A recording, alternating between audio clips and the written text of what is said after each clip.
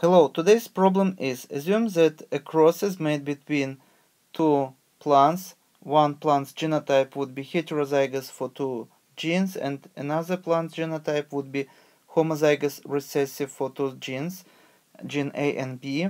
And all of the offspring are either uh, the same genotype as parent 1 or the same genotype as parent 2.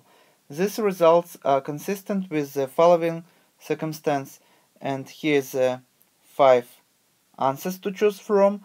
If you need the time, you may stop video here, think about which answer is correct, and when you would be ready, you can run video again, and you can compare your answer with my answer and explanation.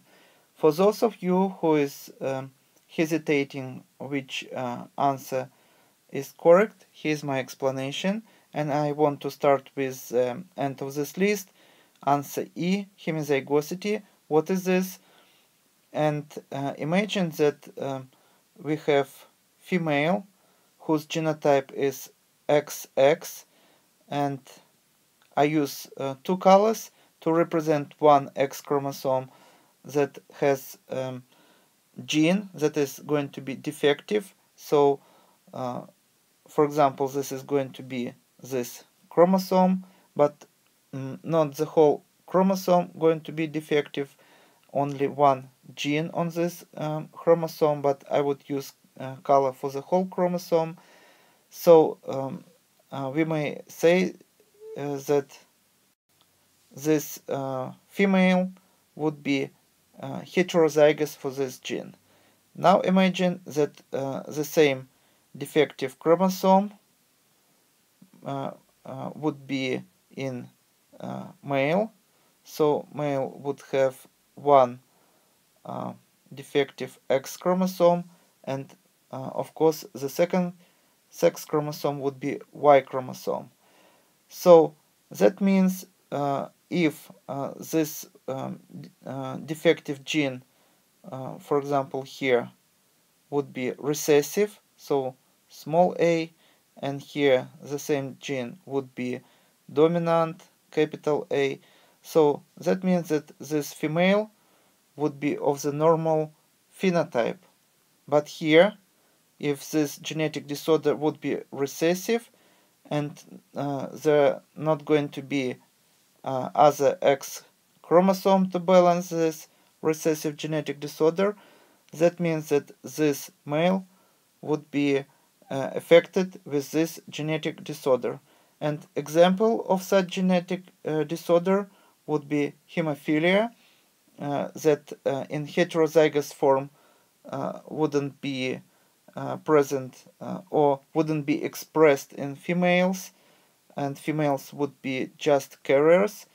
And in males we would see this picture when uh, even recessive genetic disorder uh, would um, would be expressed because it uh, doesn't has another X chromosome to balance it.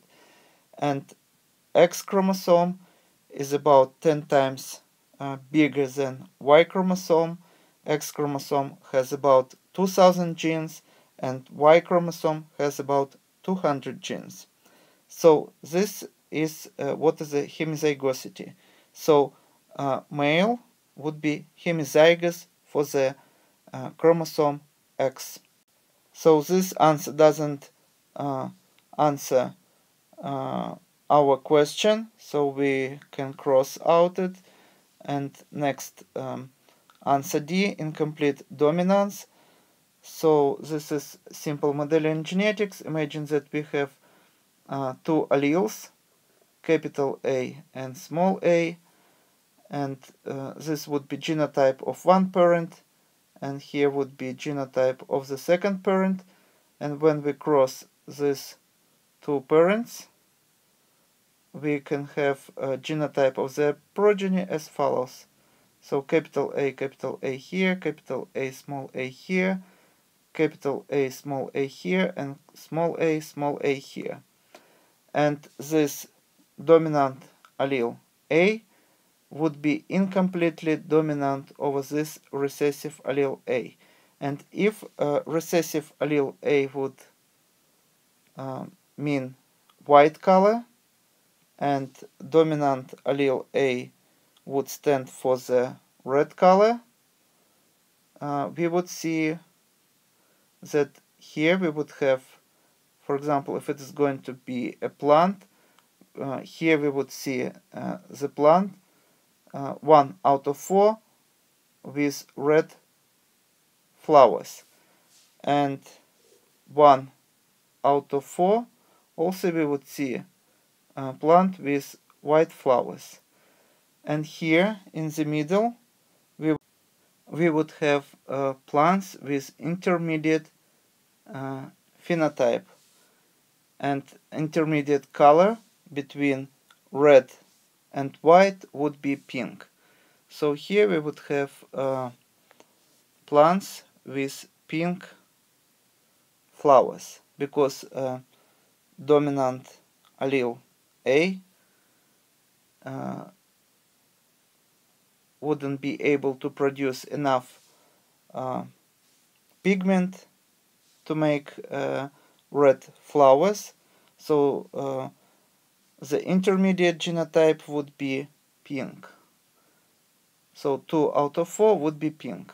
So this is example of incomplete dominance. This also doesn't answer our uh, question, so we can cross out this answer.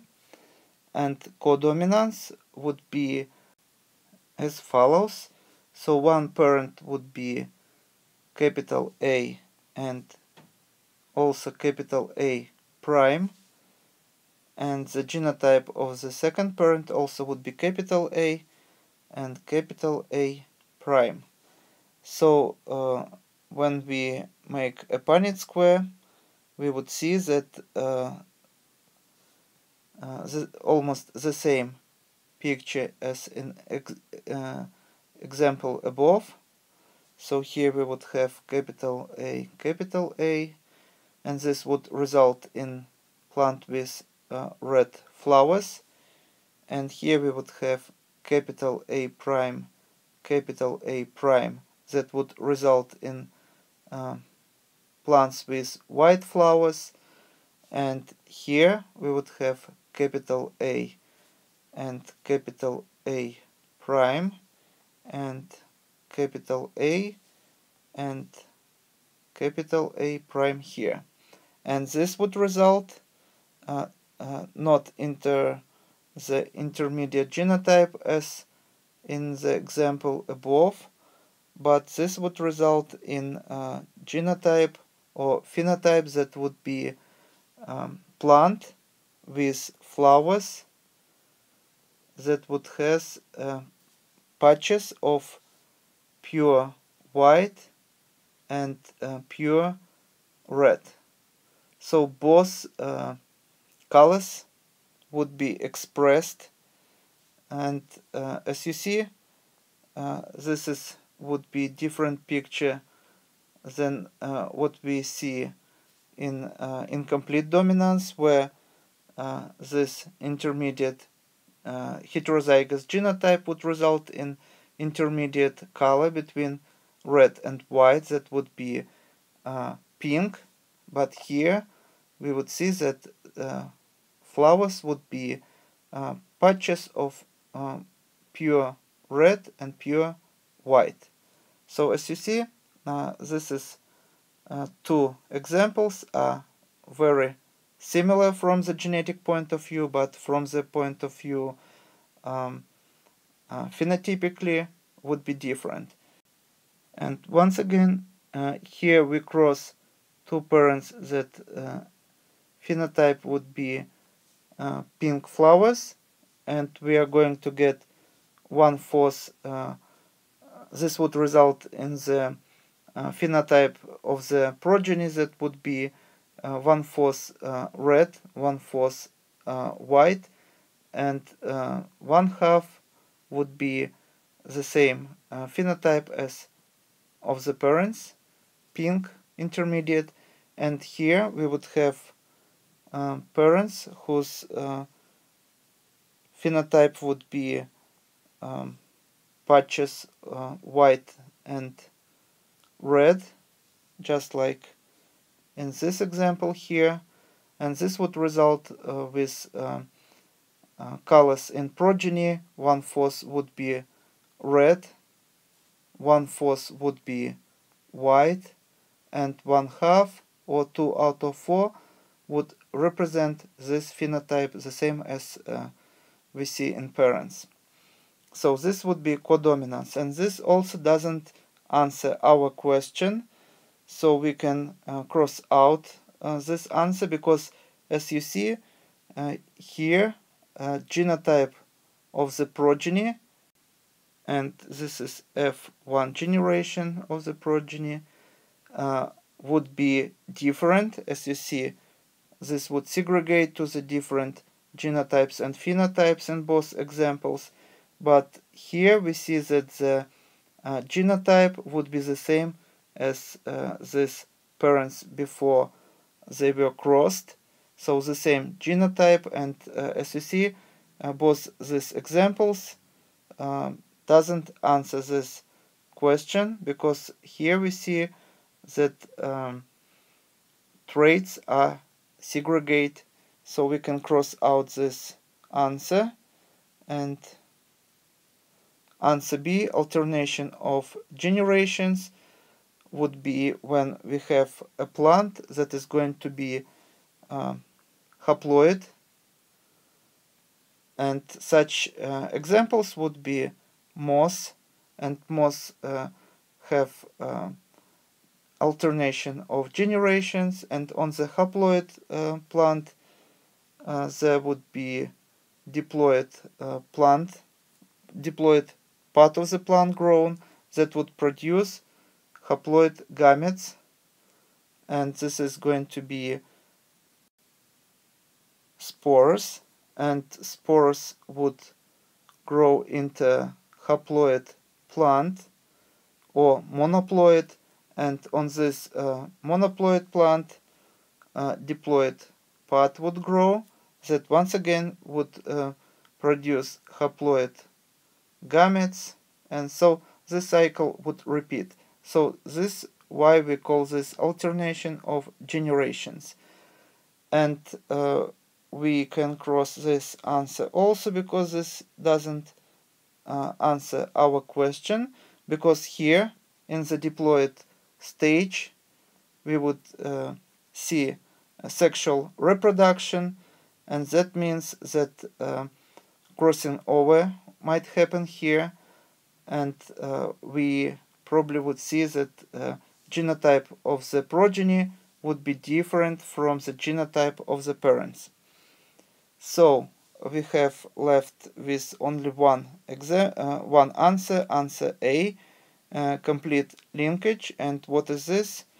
Imagine that we have two chromosomes and uh, one chromosome would be paternal and another one would be maternal we have 23 pairs of chromosomes and during meiosis we would uh, see that uh, crossing over might happen between these two chromosomes.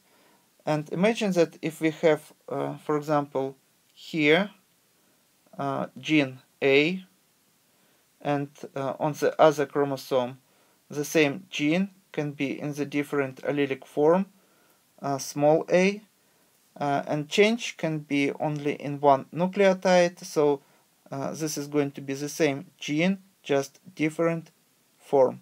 Because uh, this one has um, uh, a change. It can be one nucleotide or more.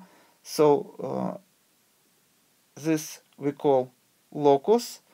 And imagine that we also have different so this situation, capital A and small a, would be what we see here. And imagine that we also have uh, another gene on the same chromosome, and that gene would be here.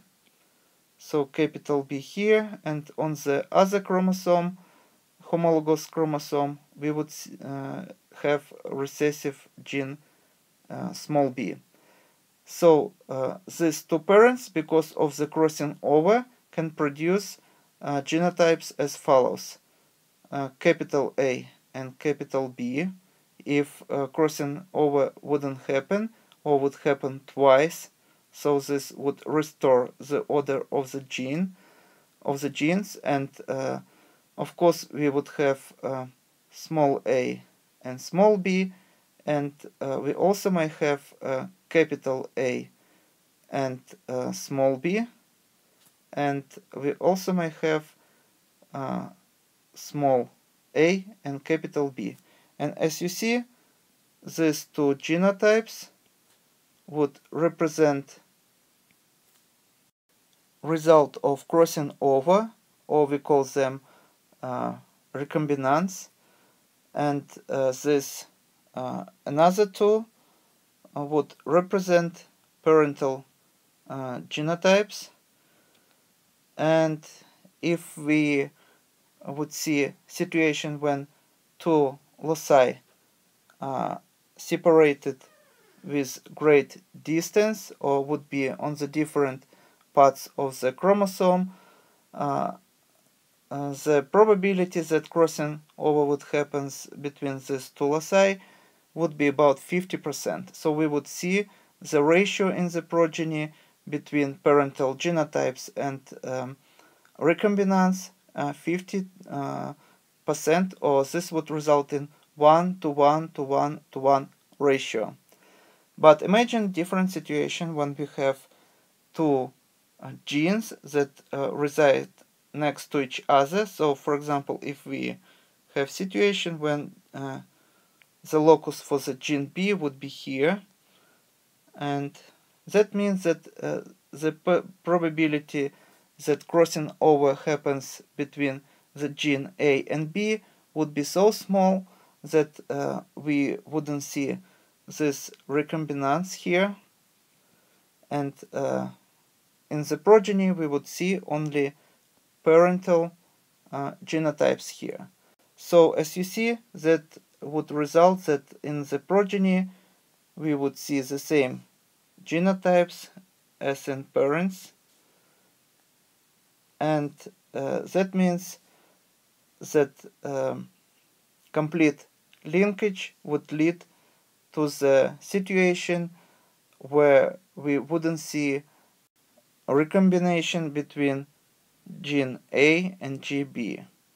So the correct answer would be answer A, complete linkage would lead to the results when progeny would uh, show the same genotype as their parents, uh, whether one parent or another parent. And this is all for today. Thank you for your attention. Please subscribe for my new videos that I post almost every day. Thumbs up if you like this video. Please write your comments, questions if you have any. And see you in the next video. Goodbye.